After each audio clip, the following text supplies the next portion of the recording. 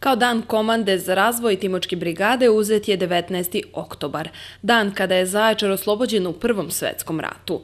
Tada su Timočani bili mobilisani u dve divizije koje su prošle slavan ratni put i učestvovale u svim velikim bitkama Balkanskog i Prvog svetskog rata.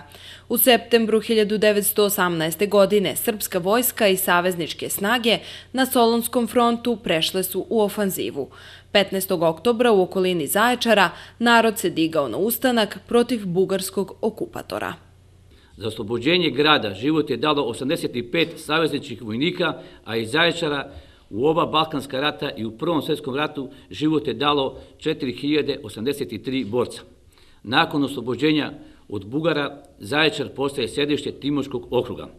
Danas pripadnici komande za razvoj Timočke brigade nastavljaju i slede put boraca koji su ostavili dubog trag u istoriji ovog kraja. Obeležavajući ovaj dan možemo biti zadovoljni sa postignutim rezultatima između dva praznika.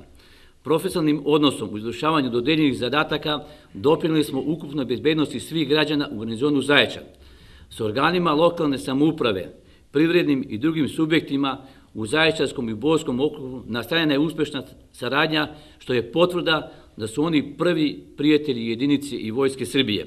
19. oktobar se obeležava kao sjećanje na dan kada su srpske i francuske jedinice oslobodile Zaječar u Velikom ratu. Da vas podsjetim da smo mi, a ne neko drugi, upravo naslednici i upravo tih junaka i tih heroja. Oni su tada ginuli da bismo mi danas živeli, da bismo mi se danas obučavali i tako obučeni bili spremni da branimo našu Srbiju od svakog zla. Često nam neki zameraju zašto stalno to pominjemo i zašto se vraćamo u istoriju. Pa hoćemo, jer nema čega da se stidimo. I moramo, jer nam upravo to posjećanje predstavlja nadaknuće. Nakon svečane akademije u Zaječarskoj kasarni Nikola Pašić održan je taktičko-tehnički zbor na kome su prisutni mogli da vide naoružanje i vojnu opremu.